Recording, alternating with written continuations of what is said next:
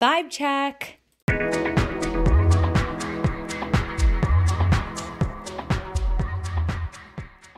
Mercury, the planet of communication, intellect, and commerce, changes signs into Aries, giving us a much needed vibe shift.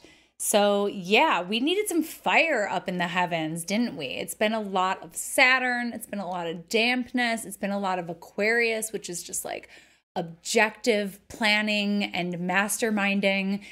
But we need some fire, folks. So, yeah, Mercury is here in Aries. It's going to be hanging out here for a long time because we're going to have a, you guessed it, Mercury retrograde. So, Mercury is actually going to be retrograde from April 1st through April 25th. And it's going to range from 27 degrees Aries back to 15 degrees Aries, stationing direct with that north node in Aries. And you guessed it, we're in eclipse season. So there's a, a lot. I mean, those nodes are active, potent points of portals and gateways. And there's going to be some funky stuff happening, I think, with social media, particularly during that time.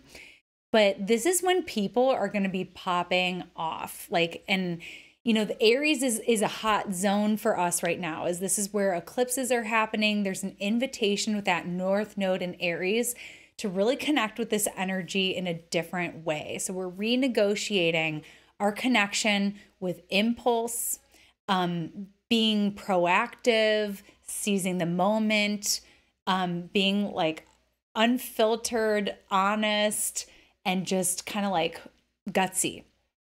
So, what is Mercury in Aries going to do? Mercury in Aries is impulsive, outspoken, it's got daggers on the tongue. It's abrupt, it's fierce, it's not afraid to tell people off, to shut people down, but it's inflaming and it can be spicy and antagonizing. This is when call outs happen. This is when people just have like no patience and they're not sitting and thinking about it before they type. They're just like a keyboard warrior right now. Um, but this can be really excellent energy for getting something off your chest, um, if like you're someone who's perpetually nice or someone who doesn't speak up very often or someone who doesn't um, put yourself out there as as much like someone who's like more humble has, or shy or has a harder time doing that this is going to help you a lot this is going to help you be more forward and more outspoken so yeah wherever your aries house is it's an action point for all these eclipses this Mercury transit is going to take us into eclipse season, like I said.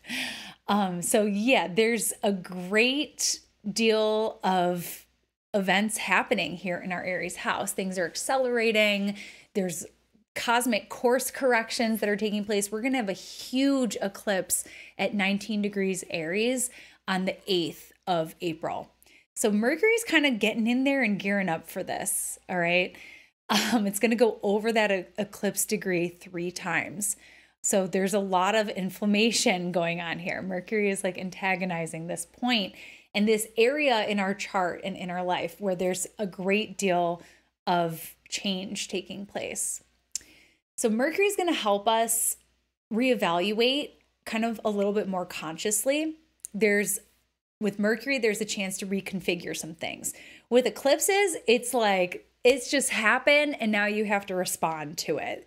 The eclipses kind of bring things out of left field. They can be disruptive. They can help us. It can also they can also be a huge pain in the ass. They can also be like really stressful.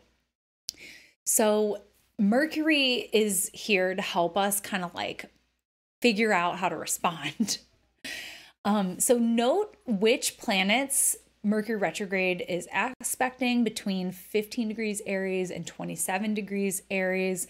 And that might be um, a point that is really important for you. If you have anything at 19 degrees Aries, especially, that's not only going to get a lot of action from Mercury, but also the eclipse. So keep those eclipse orbs really tight, like from 21 to 17. Um, that's going to be it. Mercury is also going to retrograde over Eris. Now, I've been paying attention to Eris for a while, a long while, um, but I'm especially interested in her right now because we had an eclipse on Eris on the 14th of October. And Eris is the goddess of discord and is known for starting the Trojan War. about a week before that, um, we had Hamas attack Israel, basically. And that began what's happening now, where there's this like excessive retaliation going on. And yeah, it's been it's been chaotic and stressful for a lot of people and devastating, um, catastrophic, heartbreaking for for many people too. So yeah, I'm interested what this is going to do. Mercury retrograde over Eris during eclipse season. Because also, what happened during that time was the name of Twitter was changed to X, and a lot of people just were like, I'm leaving. And I see Eris connected with social media a lot. So there's going to be like this theme, I think, of what's going on in the Middle East right now, what's going on in Israel, Palestine, Gaza, what is what's going on over there. I think Mercury retrograde is going to have a lot to say about that. Um and also just this topic of of warring in general with Eris being activated and what's happening in our in our social media spaces. So yeah, I almost wonder I almost wonder if there's going to be some sort of pressure to resolve or some sort of like, I'm not really sure because what we're also going to see is Mercury moving over Chiron three different times. So there's a bunch of Chiron activations kind of coming in here as planets start to move into Aries.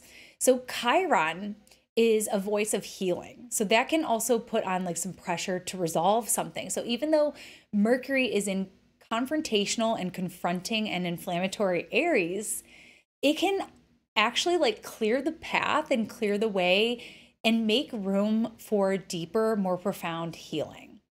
Um, even if it, even if it hurts at first, it's like it's worth it, perhaps in the end, because Chiron has to do with um, acknowledging the wounds and moving to heal it. We have to name it to tame it, is what I talk about with my toddler.